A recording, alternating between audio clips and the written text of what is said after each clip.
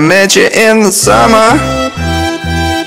To my heartbeat sound Salutare Fameleon și bine ați revenit la un nou material video foarte interesant, mai ales că de data aceasta o să documentăm uh, un eveniment special și anume a șaptea ediție a evenimentului Art Fel de Istorie care se întâmplă la Liceul Genesis din București și este un eveniment prin care elevi o să ne ducă așa în, uh, într-o călătorie în istoria lumii, în preistorie, în evul mediu, în epoca contemporană, prin uh, intermediul unor scenete pentru care s-au pregătit foarte, foarte bine. Au costume, au props, au, uite, ia uite de la el, vezi, au arme, au absolut tot ce le trebuie ca să pună în scenete niște perioade de referință din istoria lumii, iar noi am venit să documentăm toată această nebunie, fiindcă mi se pare super interesant să vă arăt și vouă cum la liceele din București se întâmplă și astfel de evenimente, care cred eu că sunt foarte benefice.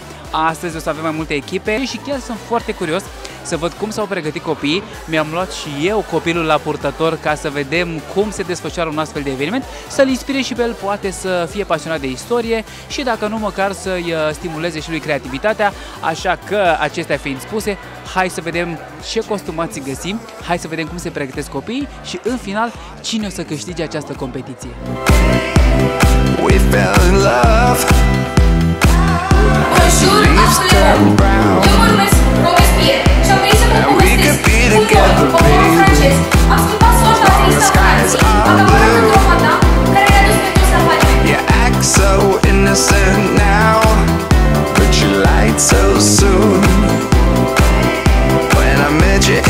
in the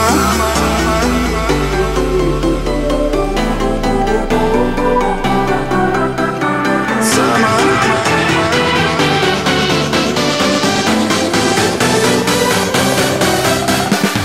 Dragilor, s-a întâmplat deja o festivitate de premiere și avem o situație mai puțin întâlnită, faptul că nu a existat locul întâi, dar am echipa care a ieșit pe locul 2 și le-am spus mai devreme că n-au de ce să fie supărați pentru că din locurile 3, 2 și 1, 1 nu există, deci 2 practic este primul loc. Sofia și Vlad, care ce scenet au jucat? Um, noi am jucat despre Revoluția franceză. Și cine a venit cu ideea să face sceneta asta? Uh, doamna de istorie, profesoara noastră Elizia Aftenie. Și cât voia vouă să vă pregătiți așa cam cât timp pentru o scenetă de genul ăsta? Îmi zici Sofia? Păi câteva zile din săptămâni, ore, dar mai mult ne-am pregătit acasă și ne-am luat costumele și am exersat așa în gând. Deci, practic, se întâmplă prima dată procesul de repetiție acasă, prin care am trecut și eu știu foarte bine că am jucat și eu o grămadă de scenete la, și la școală și la liceu, după care vă întâlniți cu toții și faceți, practic, montați da. spectacolul, nu-i așa? Cum a fost, Vlade, pentru tine? E, în, adică partea de repetat a mers ok. Și am început bine, am căzut pe o masă, s-a vărsat suc de mere pe pantalonii mei, dar după s-a continuat ok. Asta voiam să-ți uh, spun, să te întreb de fapt cum a fost căzătura, pentru că noi am prins-o pe cameră și o să o și publicăm. A fost foarte interesant și, de exemplu, dacă eu eram în locul colegilor tăi, mă raportam la căzătură și mă băgam repede să te ajut, dar ei au rămas șocați pentru că, evident, nu a fost plănuită și ce se întâmplă de multe ori când nu prea ai aceast, acest exercițiu al improvizației, nu știi ce să faci, nu? Da, cam Te, așa. te doare ceva? Cumva nu m-a lovit grav, m-a lovit un pic piciorul, m-a durut un pic piciorul, dar din fericire sunt ok. Băi, pentru Vlad mi se pare că mai mare problema este că are uh, suc de mere pe pantaloni decât faptul că a căzut, dar e totul în regulă. Eu știu că este a șaptea ediție a acestui uh, concurs și sunt curios dacă voi sunteți la prima sau la mai multă. Eu sunt la prima, data trecută n-am jucat, anul trecut, dar uh, Da. Noi am mai fost uh, și în clasa 5 -a Ok. și am jucat o piesă despre da, despre ceva din mitologia greacă, nu mai știu exact ce piesă. e. A, uh, era cea cu mărul nu știu cui. Mărul... E, important este că s-a jucat uh, o scenetă și despre zei. Vreau să știu dacă atunci ai luat vreun loc sau nu. N-am luat niciun fel de loc data trecută. E, atunci a treia oară cu siguranță o să fie cu noroc. Prima dată nimic, a doua oară locul 2, a treia oară cu siguranță locul 1. Vă mulțumesc foarte mult pentru uh, împărtășirea acestor uh, detalii de culise și mergem să vedem uh, ce se întâmplă cu ultima categorie și dacă colegii voștri au uh, punctat toate treburile care e important să fie bifate în așa fel încât să avem parte și de locul întâi. Hai să mergem înapoi să vedem ce se întâmplă. outside.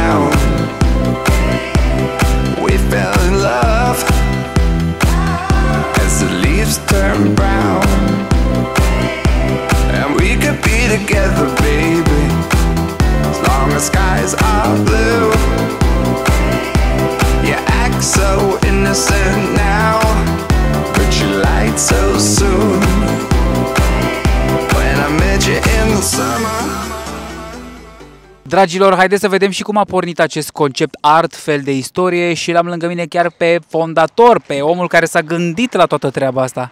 Spune-ne în primul rând, cine ești? Salut, sunt Dragoș, profesor de istorie de la Genesis. Mm-hmm. Toată povestea a început acum vreo 9 ani, când ne-am dat seama că în București nu există, în afară de Olimpiadă, niciun concurs de istorie și mai mult decât uh, asta, că nu există niciun concurs în care, uh, un concurs interdisciplinar, în care copiii, într-adevăr, să simtă că uh, joacă rolul unui uh, vechi personaj istoric. Mm-hmm. Uh, existau doar concursuri de genul, îți dădea bibliografie, învățai, dar niciun concurs interdisciplinar și așa ne-am gândit acum 9 ani să, să începem această idee mm-hmm. care uh, Pare că funcționează. Pare că funcționează. Am avut de-a lungul timpului, cred că peste 700 de copii din București și din județele din jur au, cred că chiar mai mulți.